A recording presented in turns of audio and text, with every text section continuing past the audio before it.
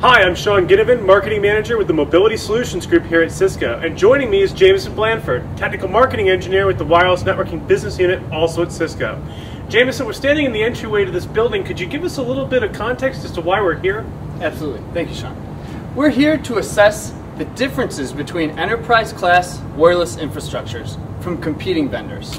So vendors like Aruba, Motorola, Exactly, exactly. So the people that you might find in when you're evaluating who you want to choose as your infrastructure provider. Absolutely. So maybe give me a little bit of detail about what this facility is like. We're here at a 40,000 square foot facility that's basically walled offices and a cubed environment. You would typically find this in, you know, banking or an enterprise class environment. So kind of to parody office space, that kind of white collar, uh, white collar office environment. Exactly. That's it. Excellent. So if this is just like any other office environment, what really makes it unique? Well, what we're here, we're isolated physically from other buildings. What that allows us to do is make sure our tests are repeatable and reliable and that no source of interference will jeopardize our results. So ensure that our neighbors next door don't go and cause or skew any of the results that we may have. Exactly. Well, Jameson, why don't you give me a little bit of a tour inside? Let's go. So Jameson, it looks like you've got the test bed set up whiteboarded here. Why don't you walk through for the audience what we did here for testing? Absolutely.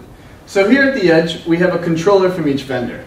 We have a Motorola RFS 7000, we have an HP MSM 750, Aruba 6000 controller with an M3 module, and Cisco's 5500 series wireless LAN controller.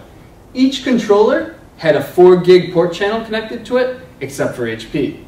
Because of HP's controller design, we used 1 gigabit uplink. So really you follow the vendor's recommendations when you set up and interconnect all these controllers into the network. Exactly. So what did you connect it all to? It was all interconnected with a Cisco Catalyst 3750E. So a standard off-the-shelf gigabit switch you'd find in a variety of different enterprise environments. Exactly. All the connections in here were gigabit. Okay. So what did you do on the access point side? For each AP, we powered them with Power over Ethernet, Okay. providing a 1 gigabit uplink.